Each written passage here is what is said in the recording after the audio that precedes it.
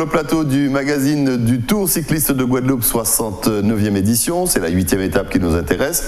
On a vu le résumé du premier tronçon il y a un instant. Nous allons passer au résumé du deuxième tronçon, un contre-la-montre individuel sur 23 km entre Goyave et euh, Bémao. C'est parti euh, pour les coureurs que nous avons sélectionnés euh, pour vous ce soir. Eh bien, le dernier à quitter la ligne d'arrivée de départ à Goyave, le maillot jaune, n'avait qu'un seul objectif, eh bien, claquer, calquer sa course sur celle de, de son dauphin, Vadim Pronsky, qu'il devançait au général de 2 minutes et 13 secondes. Il ne devait pas se mettre dans le rouge, dans l'optique d'une ultime étape demain, mais il lui fallait tout de même conforter son avance, sinon conserver un matelas suffisant afin de lui permettre de succéder à Boris Karen et d'inscrire son nom au palmarès de l'épreuve. Adrien Guillonnet perdait au final 47 secondes sur son principal rival. Il terminait à la 18e position et couvrait les 23 km en 32 minutes et 19 secondes, soit à 2 minutes et 40 secondes du vainqueur. Voilà donc euh, son dauphin, c'est Vadim Pronsky, donc euh, le jeune Kazakh euh, qui réussit déjà un très très beau tour. C'est pour l'instant un jeune prometteur. Il est leader du classement espoir du Tour de la Guadeloupe. Son but, bien sûr, être le meilleur jeune du Tour et terminer sur le podium, voire remporter ce Tour. Pour réussir, il lui faut reprendre 2 minutes 13 donc à Adrien Guillonnet. Paris difficile, Paris osé. Il va donc terminer donc en reprenant 47 secondes donc au, au maillot jaune. Il va terminer 10 dixième de ce contre-la-montre à 1 minute 53 du vainqueur et il conforte ainsi donc euh, sa deuxième place au classement général en terminant une seconde devant donc euh, son, le troisième du classement euh, donc de général et là Vadim Pronsky donc en très belle allure va donc conforter sa deuxième place donc au classement général. Troisième au général, la tâche de Frédéric Dombrovski était double. Dans un premier temps, faire nettement mieux que Vadim Pronsky afin de lui ravir la deuxième place au général. Seulement 29 secondes les séparaient. Une fois cette performance réalisée, il lui fallait un miracle pour monter sur la première marche du podium. Devait combler 2 minutes et 42 secondes euh, sur Adrien Guillonnet. Objectif beaucoup trop élevé. Il terminait 9e en 31 minutes et 31 secondes, soit à 1 minute et 54, à 1 minute et 52 secondes de Gaëtan Bill. Voilà donc Adam Spiersga, lui, euh, le coureur du CCD, donc euh, très bien aligné sur sa machine avec roue lenticulaire, de retour à la compétition en Guadeloupe en 2019, donc au service de l'équipe du CCD. Eh bien, il a montré son retour en forme déjà en terminant troisième de l'étape du matin à Capester et dans le contre-la-montre. Donc, il va montrer son retour au meilleur niveau, car habitué aux gros efforts pour emmener son équipe. Il va donc terminer donc le chrono de 23 km 800 dans le temps de donc euh, il va terminer donc il va se retrouver ce soir 18e au classement général. Il termine 7e donc de ce contre-la-montre, un temps prometteur qui lui permet de se repositionner. Mais à 18e au classement général, il restera au service de Sanchez Anzola, qui est toujours figure donc euh, qui est dans le top 10 donc du classement général. Adam Siersga donc qui réalise quand même une bonne performance. À la recherche d'un succès d'étape très actif depuis le début du tour, Cédric Locatin a été quasiment de toutes les échappées sans véritablement aller jusqu'au bout. L'exercice en solitaire aurait pu lui sourire, il en est l'un de nos meilleurs spécialistes, mais aujourd'hui, il est tombé sur des avions de chasse, il a dû se satisfaire d'une troisième place, bien qu'ayant réalisé un excellent chrono, 30 minutes et 31 secondes, à 52 secondes du vainqueur.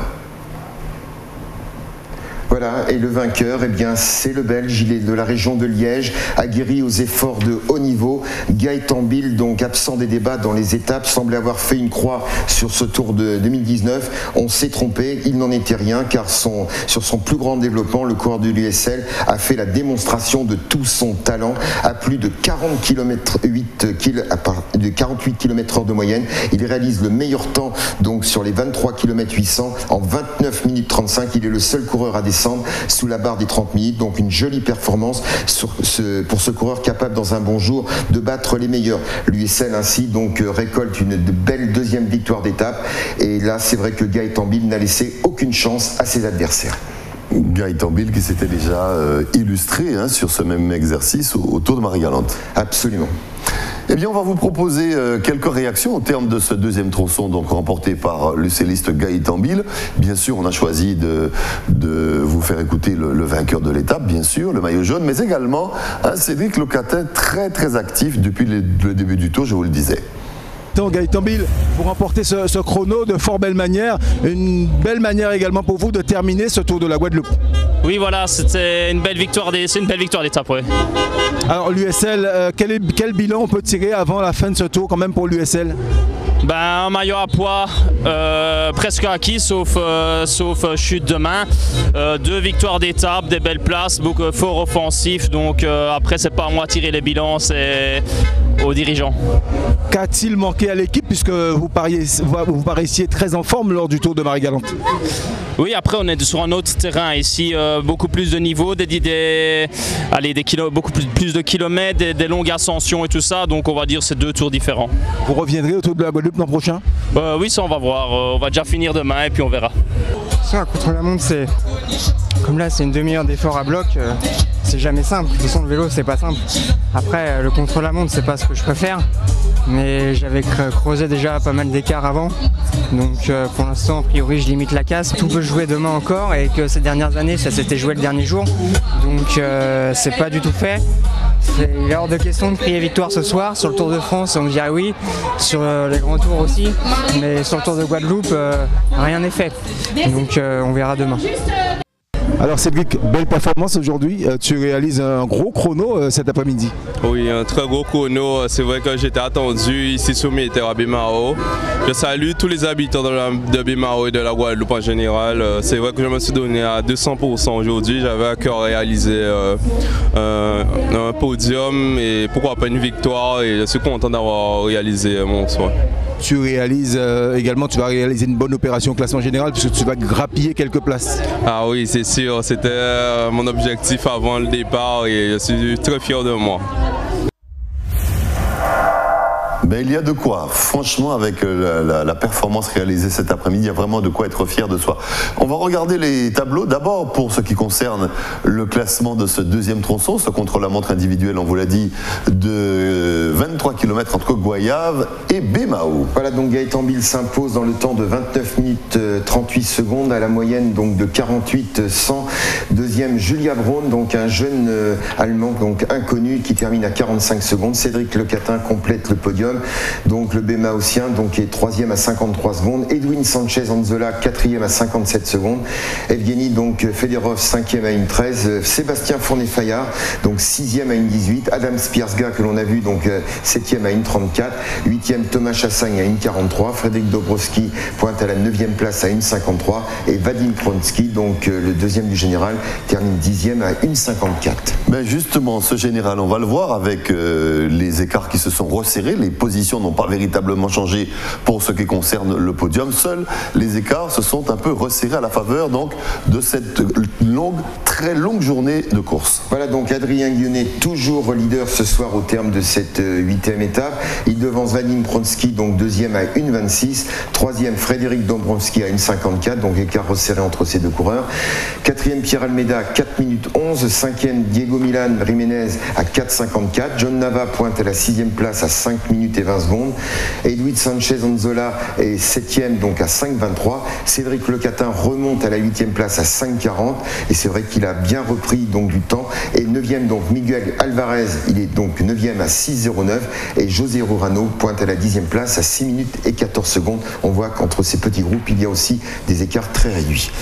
Eh bien, on va regarder également le classement, les classements généraux, le podium, tout au moins, des différents classements généraux. Les propriétaires de maillots, on vous le dit tous les soirs, ce sont les propriétaires, pas forcément les porteurs de maillots.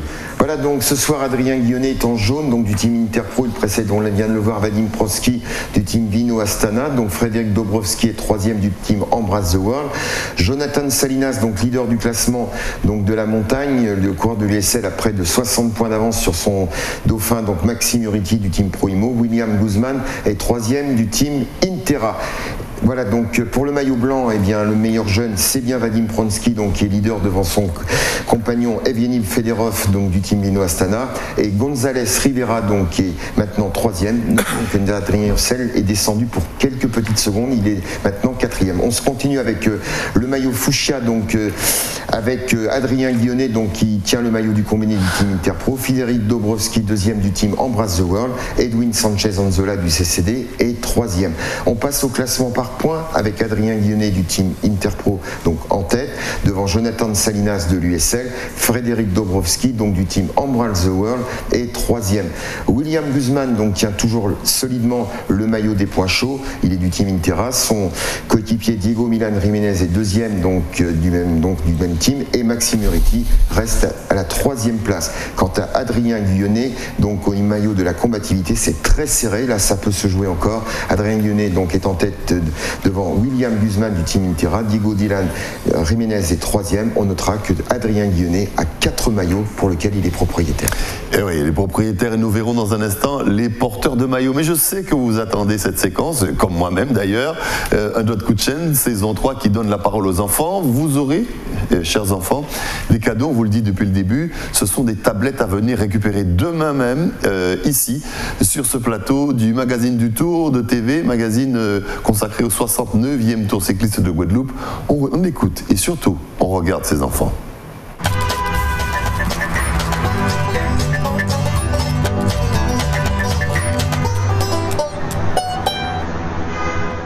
Je m'appelle Lenny. Ethan. Shaili. Lucas Abaye. Kimberly. Christian. Quel âge as-tu? 7 ans. Et j'ai 13 ans. J'aurai 9 ans le mois de décembre. 13 ans 9 ans. Qu'est-ce que tu aimes dans le cyclisme? J'aime bien les courses. Ben, j'aime tout. Mais. Euh, Je fais du vélo aussi. Tu fais du vélo aussi Oui. Dans quel club tu, tu fais du vélo Dans le club de Sainte-Anne VCS.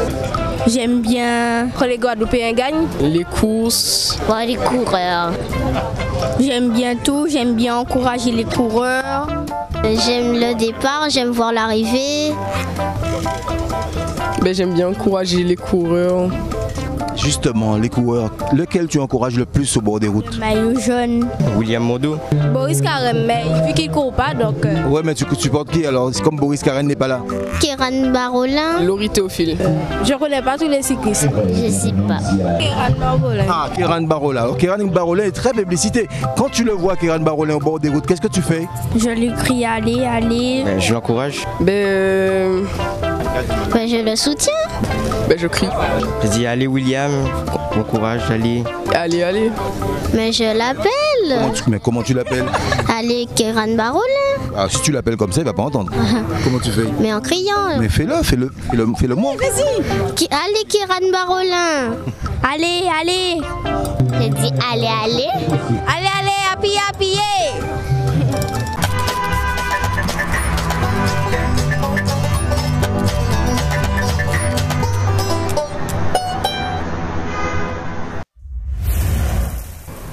Appuyé, appuyé, ouais, c'est ça. C'est euh, l'émission de, bah, on va dire, hein, d'autres coups de chaîne qui fait des émules, et c'est tant mieux. En tout cas, il y a des enfants qui sont venus demander où est le micro ETV. Ouais, c'est- bien, c'est bien de donner la parole aux enfants, c'est bien qu'ils s'expriment eux aussi, parce qu'ils font partie de la caravane.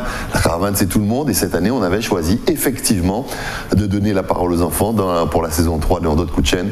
On nous a emboîté le pas, c'est pas plus mal, mais bon, faut peut-être pas à un moment donné. Quand ils font un petit coup de vent, on va arrêter sous ses roues. On va partir justement avec la caméra euh, GoPro de Pierre Guiretel qui passe sous ses en haut parce que c'est devant la moto.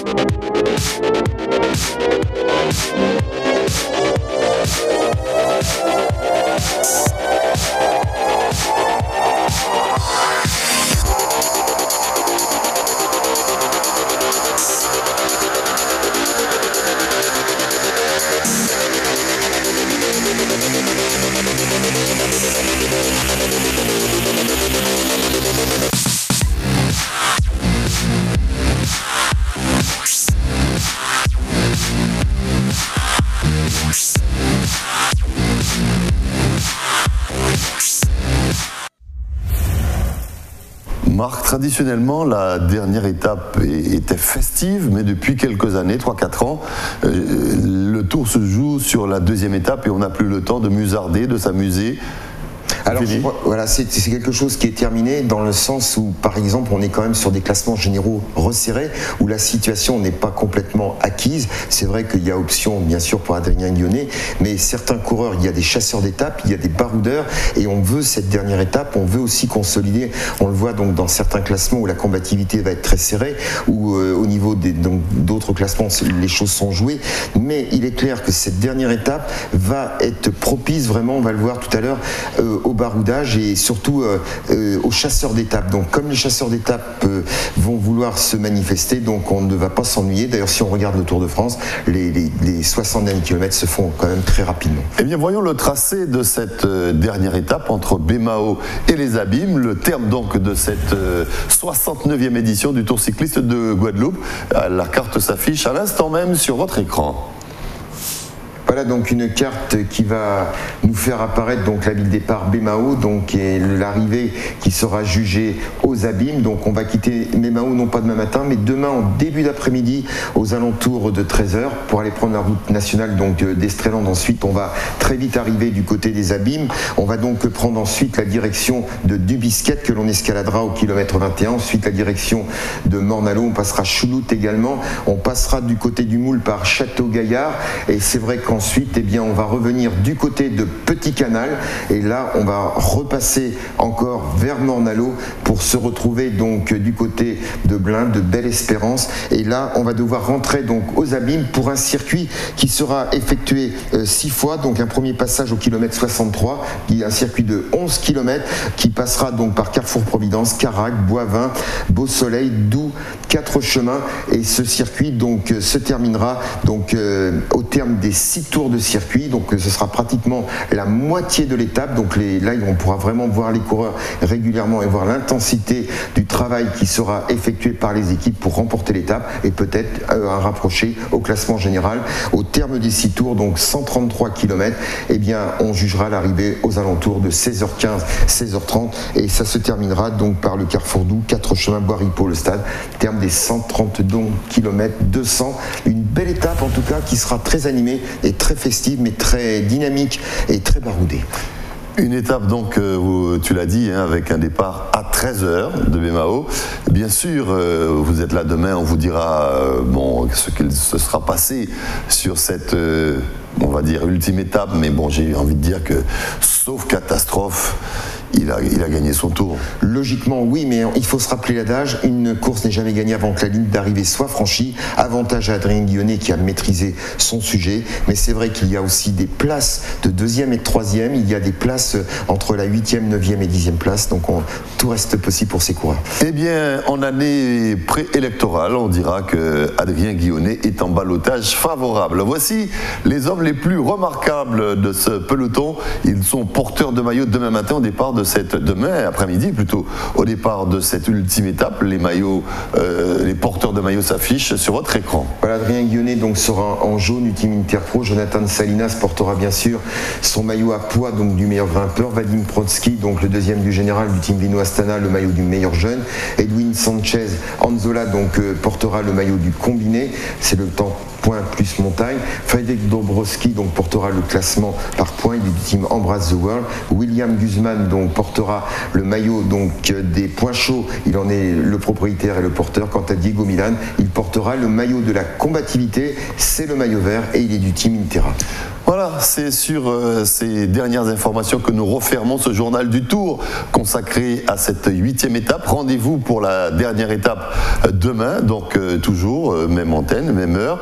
Nous saluons nos téléspectateurs de Guyane, de Martinique, de Paris, 11e arrondissement très précisément, de l'archipel guadeloupéen. Merci beaucoup Marc. Merci à vous Rudy, à toi Rudy, et puis merci de nous être fidèles et pour vos encouragements. Très belle fin de soirée. On se retrouve demain.